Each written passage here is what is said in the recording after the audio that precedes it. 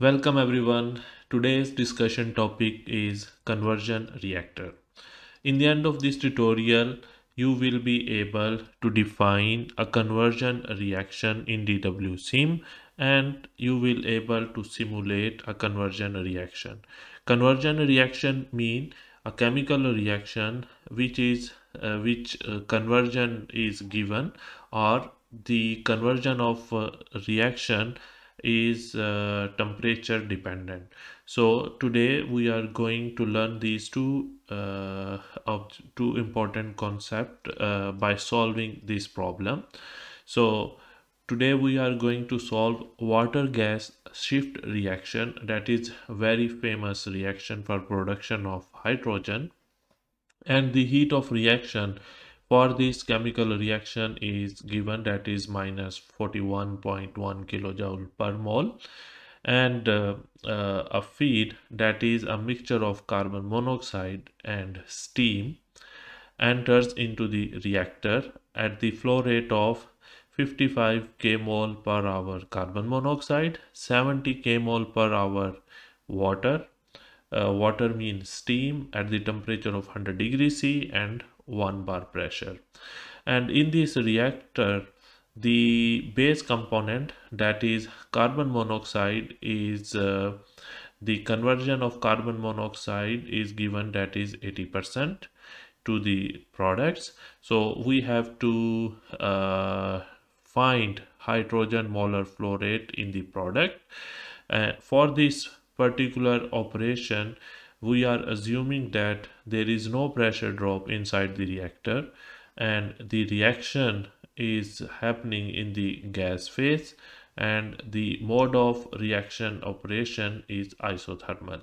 So let's move to DWSIM software to solve this problem. Okay so now we are going first going to create a new steady state simulation. After that just press next and define the components which are involved in chemical reaction. And uh, in our chemical reaction we have carbon monoxide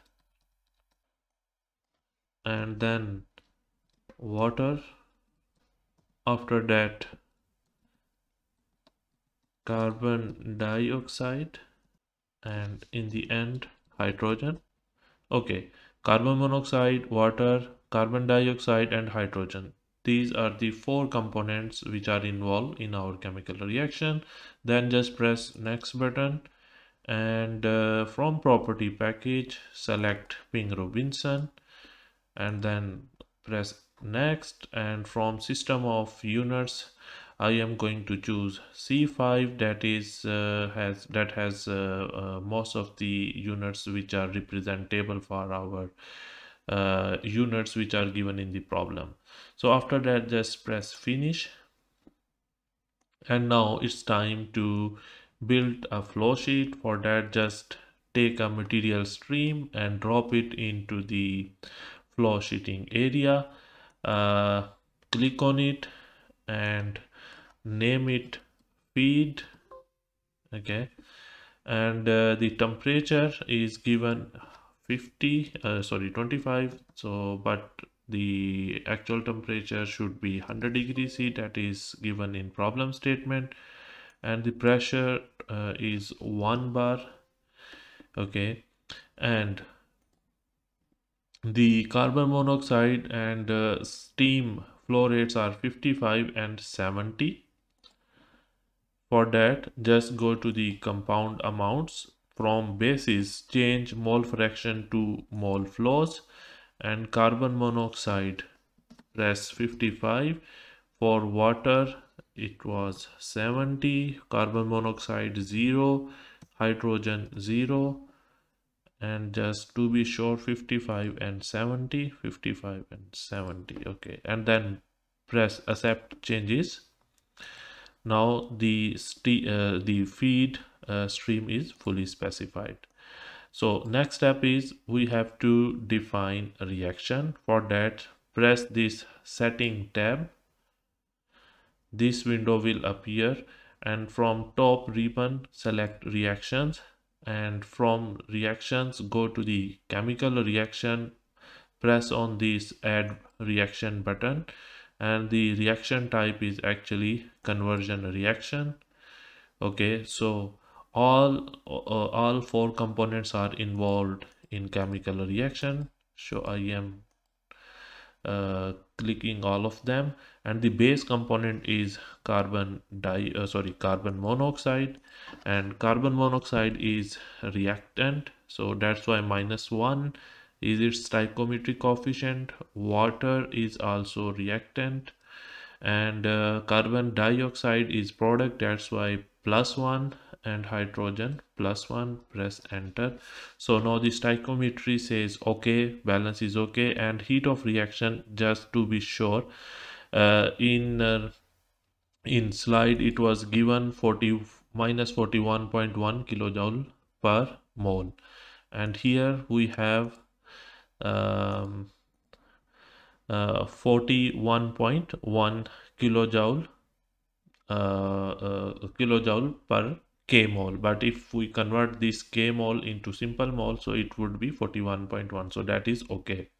So the conversion reaction parameter base component is already carbon monoxide because we have we already selected here. And the reaction is happening in gaseous phase in vapor phase not in the liquid phase and the conversion. Okay so the conversion you can define conversion in two different types. Number one just for example in our case conversion is given as a number like 80 percent just press 80 that is okay. But in some times uh, conversion is given in in a function of temperature uh, so you can directly write that uh, uh, that particular function. For example conversion we can say 0 0.29 plus 0 0.1 into temperature T okay? So the, these kind of function that are usually given for particular uh, chemical reactions uh, the reaction their conversion uh, uh, varies largely with change in temperature. But in our case uh, conversion is given as just 80 percent. So i'm just putting here 80 okay? After that just press ok. Now the reaction is defined. Close this window. It's time to put uh, uh, to introduce the conversion reactor. For that go to the reactors. From reactor select conversion reactor and then drop it here. Okay click on it and uh, inlet stream is feed. Outlet stream just create two outlet stream and one energy stream. And i'm going to change the name. It is energy. And uh, this one is uh, vapor product. And uh, this one is liquid product. Well after defining the name of streams now just click on the reactor. Okay. And then go to the uh, reaction set that is default set. So we already uh, defined the reaction conversion reaction under the name of default set. Calculation mode is here adiabatic but we have to change it isothermal. Okay. And uh, now just go to the solver flow sheet. That is uh, just press F5 and now your um, uh, simulation is already been converged. So just go to the uh, reactor go to results and under the result tab go to reactions and you can see the conversion of a reaction is 80 percent. Okay but on on which uh, component uh, i mean is the conversion of uh, carbon monoxide or is the conversion of uh, steam for that just go to the conversions to see the individual component conversion. So the 80% conversion is carbon monoxide and 62.85% uh, conversion uh, is associated with water. And another thing that was asked in the problem statement was we have to find hydrogen molar flow rate in the product stream. So for that just click on the vapor product and uh, first go to the liquid product to see if there is any uh, liquid component. You can see there is no compound in liquid phase. So because the reaction is um, vapor phase reaction so all the product will be in vapor phase. So just click on the vapor uh, product stream. And uh, uh, for that just go to results. And from results click uh, to basis from mole fraction to uh, mole flows. And here you can see the hydrogen mole flow rate is 44 kilomole per hour.